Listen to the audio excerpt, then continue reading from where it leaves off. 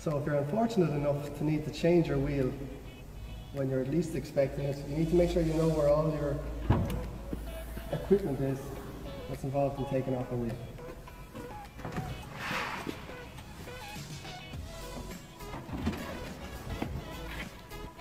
If this car, the jack and the wheel brace are located easily to find.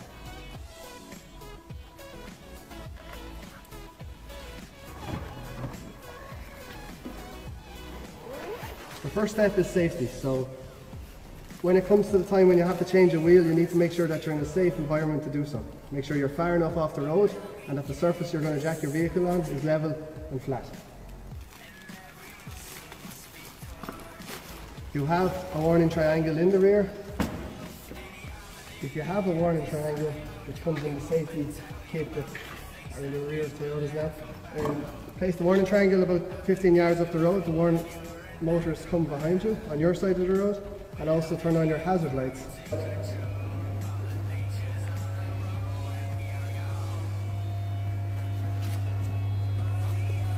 Locate the jacking point of your vehicle.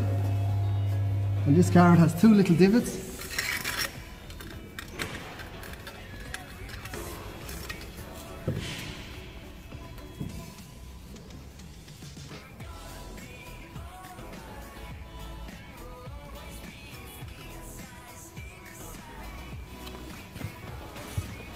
Before you lift the wheel from the ground, you need to make sure you can loosen. So make sure your handbrake is applied and always push on the wheel brace. So always push on the wheel brace as opposed to pull.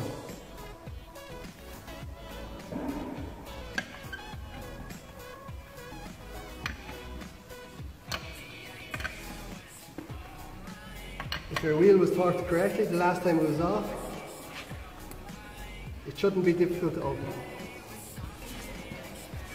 One half turn on each wheel nut before you jack it the vehicle.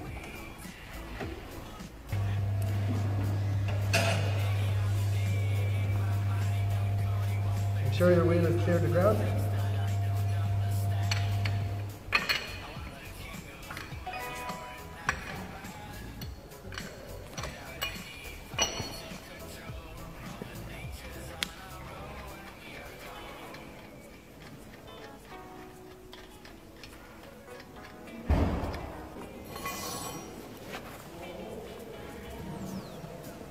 Avoid an injury.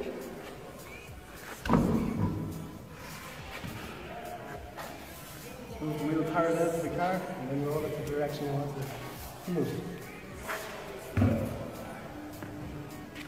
Okay, now when you're ready to refit your wheel, bring it parallel to the car. Line up your wheel studs with your wheel holes.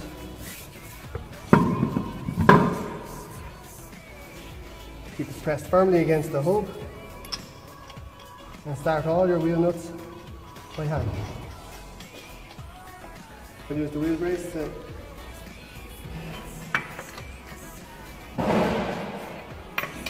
get them in.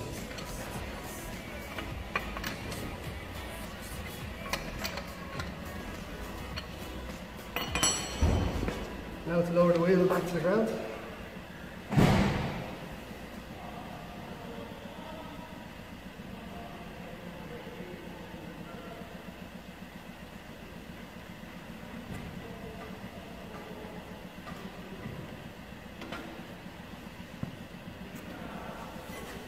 Correct formation for tightening the wheel from here. You start in one and go to the opposite. Diagonally across until all the nuts are tight. And we stand. And again, it'll be a push, not a pull.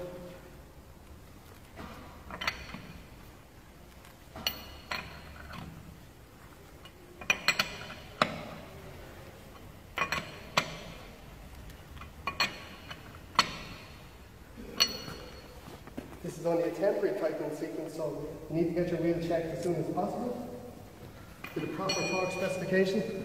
For this vehicle is 120 newton meters.